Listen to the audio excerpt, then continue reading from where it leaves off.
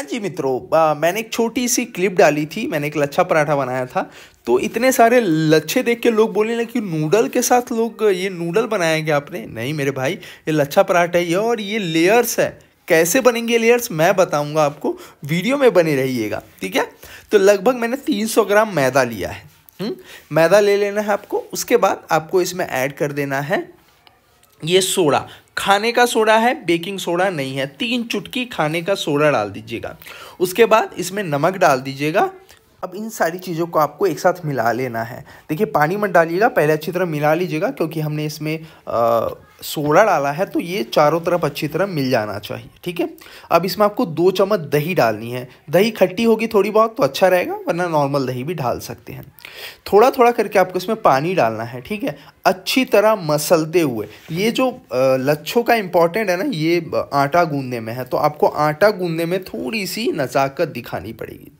तो एक सॉफ्ट सा डो तैयार करना है, अच्छी तरह उसको मसलना है, दो से तीन मिनट तक ऐसे, देखिए, मुट्ठी बाँध के और एक सॉफ्ट सा डो तैयार करना है। इसको पंद्रह से बीस मिनट बीस मिनट कम से कम इसको रेस्ट के लिए ढक के मतलब हवा नहीं जानी चाहिए, ऐसे छोड़ दीजिएगा हम्म? अब इसको निकालना है, इसके ऊपर आधा चम्मच ऑयल डालना है। अब इसको देखिए मैं कैसे कर रहा हूँ, आप देखते रहिए, देखिए। अच्छी तरह आपको लगभग तीन से चार मिनट तक इसको ऐसे स्ट्रेच करना है, फिर इकट्ठा करना है, फिर स्ट्रेच करना है, फिर इकट्ठा करना है। इससे क्या होगा, इसकी जो लचक है वो कम हो जाएगी। जैसे आप रोटियाँ अगर इसके मैदे के बेलते हैं ना तो बाद में वो सिकुड़ने लगती है। तो ऐसा करने के बाद वो सिकुड़ेंगी नहीं, जितना आप बेलेंगे, उतना ही रहेगा।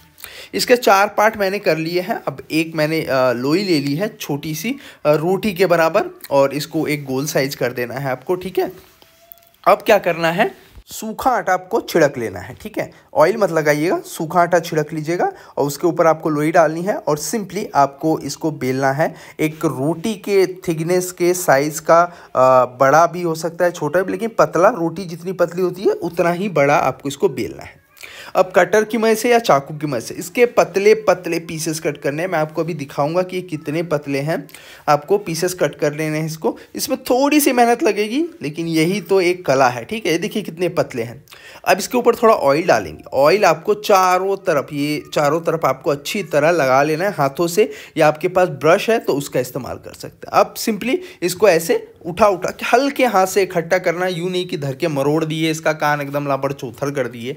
ऐसा नहीं करना है, ठीक है? हल्के हाथों से इसको ऐसे लपेट लेना और फिर आपको इसको स्ट्रेच करना है। धीरे धीरे इसको इसको खींचना है थोड़ा सा लंबा कर लेना है इसको, ठीक है? जब ये थोड़ा सा लंबा हो जाए, तब सिंपली ऐसे हाथों में जो चार उंगलियाँ रहते हैं, उसमें आपको लपेटना है और ये जो थोड़ी सी ठुट्टी बच जाएगी, इसको इसके पिछवाड़े में घुसेड़ देनी है। मतलब कि पीछे घुसेड़ देना है इसके। और ये हमारा एक पेड़ा बन के तैयार हो गया। ऐसे ही आपको सभी पेड़े बन के तैयार करने हैं और पेड़ों को ढक के रखना है, ठीक है? पहले पेड़े तैयार कर लीजिएगा, फिर पेड़ों को ढक के रखिएगा।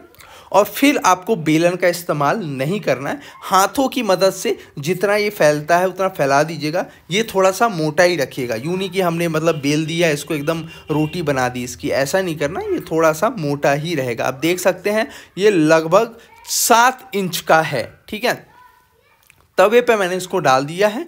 तवे पे डालने के बाद आप एक मिनट तक सीखने दीजिएगा इसको। उसके बाद थोड़ा थोड़ा ऑयल इसके ऊपर चारों तरफ़ डालिएगा ताकि ये अच्छी तरह अंदर से सीखे और फ्लेम जो है आपको लो मीडियम रखना है, ज़्यादा हाई फ्लेम नहीं रखना है क्योंकि ये थोड़ा सा मोटा रहता है तो अंदर तक ये पूरी तरह सीख जाना चाहिए। अब इसके लच्छे देख रहे हैं आप?